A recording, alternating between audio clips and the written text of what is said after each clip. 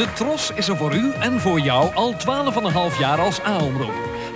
12,5 jaar Tros A-omroep vieren we speciaal voor onze trouwe Tros-aanhang met Tros Bingo. Dat we wekelijks gaan spelen. Doe ook mee. Koop een los nummer. Of bel 020 802 802 of 035 715 715. En profiteer van onze jubileumaanbieding. Tros Kompas voor 12,5 gulden tot 1 april 1987. De Tros is er voor u en voor jou. Volgende week maandag op de Nederlandse televisie bij de Tros... de IJssalon van Dimitri Frenko Frank.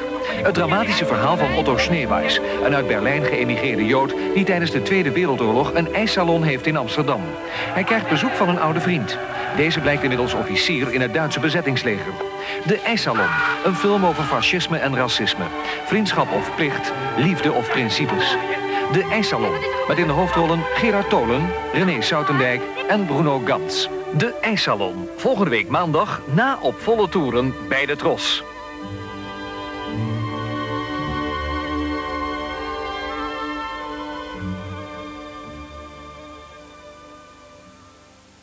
Vrijdag 24 oktober aanstaande gebeurt er iets uitzonderlijks op de Nederlandse televisie.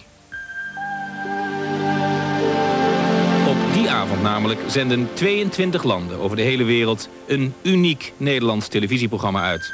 De TROS nam het initiatief voor een grootse Europese uitzending rond een organisatie die ervoor zorgt dat deze Youssef, net als miljoenen andere kinderen, een kans krijgt op een beter leven. Een organisatie die dan precies 40 jaar bestaat. UNICEF. In het congresgebouw in Den Haag laat elk land zich vertegenwoordigen door een topster uit de wereld van lichte of klassieke muziek. Samen met presentator Pieter Justinov zorgen zij voor een van de meest opmerkelijke programma's in de geschiedenis van onze televisie.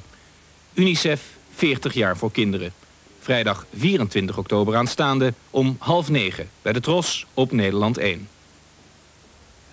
Als u van operetten houdt, dan gaat u de komende drie kwartier genieten van het eerste deel van een feestelijk concert vanuit het Concertgebouw in Amsterdam met Anneliese Rotenberger, Marco Bakker en het Noord-Philharmonisch Orkest onder leiding van Willy Mattes.